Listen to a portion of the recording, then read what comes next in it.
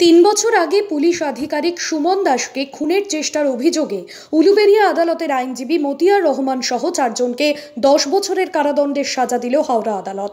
একই সঙ্গে ওই চারজনকে দশ হাজার টাকা জরিমানা অনাদায়ে আরও দুবছর কারাদণ্ডের নির্দেশ দেন। অভিযুক্ত আরও আটজনকে সাত বছরের কারাদণ্ড এবং দুজনকে পাঁচ বছরের কারাদণ্ডের নির্দেশ দিয়েছে আদালত। দু হাজার আঠেরো সালের পাঁচই জানুয়ারি রাত এগারোটা নাগাদ ওয়ারেন্ট নিয়ে দুই অভিযুক্ত লিয়াকত মুন্সি ও মনিরুল মুন্সিকে গ্রেফতার করতে শ্যামপুর থানার বারগড় চমুক গ্রামে হাজির হয় পুলিশের টিম।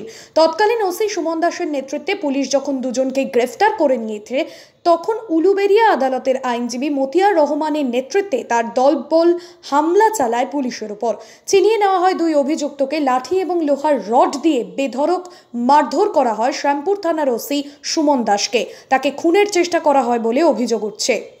কিন্তু সুমনের মা সুমন দাসের মাথায় এত জোরে হেলমেটের বাড়ি পড়েছিল, এই রডের বাড়ি পড়েছিল যে হেলমেটটা ভেঙে যায়। হেলমেটটা ভেঙে গিয়ে ও মাথায় ভয়ঙ্করভাবে ইঞ্জুরি পায়, সঙ্গে সঙ্গে লুটিয়ে পড়ে, প্রচণ্ড রক্তপাত হয় ব্রেনে সিরিয়াস হেমারেজ হয়, ওকে ওইখান থেকে নিয়ে কোনোভাবে উলুবেরিয়া হাসপাতালে নিয়ে যাওয়া হয়। অ্যাট দি সেম টাইম ওই স্পট থেকে রেজওয়ান আলী বলে, রেজওয়ান আলী মুন্সি বলে, ও রেজওয়ানকে অ্যারেস্ট করতে পারে পুলিশ, নিয়ে বেরিয়ে আসে কোনো রকমে পুলিশ, তারপরে উলুবেরিয়া হসপিটাল বলে যে এই পেশেন্টের ট্রিটমেন্টের আমাদের ইনফ্রাস্ট্রাকচার নেই। তখন পুলিশের বড় কর্তারা তারা ব্যবস্থা করেন। সুমনের ট্রিটমেন্ট শুরু হয় বেলভিউ নার্সিংহোমে বেলভিউ নার্সিংহোমে দু আড়াই মাস থাকার পর সুমন ওয়াজ সেন্সলেস আড়াই মাস, তিন মাস ই ওয়াজ থরলি সেন্সলেস ওর কোনো জ্ঞান ছিল না, ওর জ্ঞান ফিরছিল না। এবং ওর এন্টায়ার বডি প্যারালাইজড হয়ে গিয়েছিল। যা হোক, সেখান থেকে ওকে ট্রান্সফার করা হয় নিউরোলজিক্যাল সায়েন্সেস মৌলালিতে। সেখানে ও চিকিৎসার পর আস্তে আস্তে ও ভগবানের এতে একটু সুস্থ হয়। কিন্তু ও এখনও নর্মাল লাইফে ফিরতে পারেনি। ওর ইনটা একটা দিক, শরীরের একটা সাইড পুরোপুরিভাবে প্যারালাইজড হয়ে গেছে। মাথায় ও শরীরে গুরুতর আঘাত নিয়ে হাসপাতালে ভর্তি করা হয় তাকে।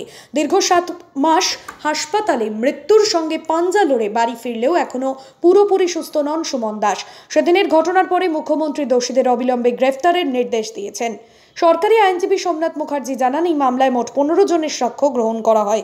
মঙ্গলবার হাওড়া আদালতের প্রথম অতিরিক্ত দায়রা বিচারক সর্বাণী মল্লিক চট্টোপাধ্যায়, আইনজীবী মুন্সি মতিয়ার রহমান সহ চোদ্দ জনকে সাজা শোনান। তবে কোভিড পরিস্থিতিতে আসামিদের আজ আদালতে নিয়ে আসা হয়নি।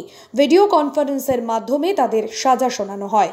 জাজমেন্টে চোদ্দ জন আসামি ছিলেন। চোদ্দ জনকেই জজ সাহেব দোষী সাব্যস্ত করেছেন। তার মধ্যে দ চারজনকে তিনশো সাত ধারায় দোষী সাব্যস্ত করে তাদেরকে দশ বছর করে সাজা কুড়ি হাজার টাকা ফাইন, অনাদায় আরও দু বছরের জেল। আর আটজনকে আর অন্যান্য ধারা যেগুলো ছিল, যেমন তিনশো পঁচিশ, তিনশো ছাব্বিশ one eighty six three three thirty three three thirty three three thirty two এইসব ধারা মিলে তাদের ম্যাক্সিমাম পানিশমেন্ট দেওয়া হয়েছে সাত বছর। আর দুজন আসামিকে পাঁচ বছর সাজা দেওয়া হয়েছে।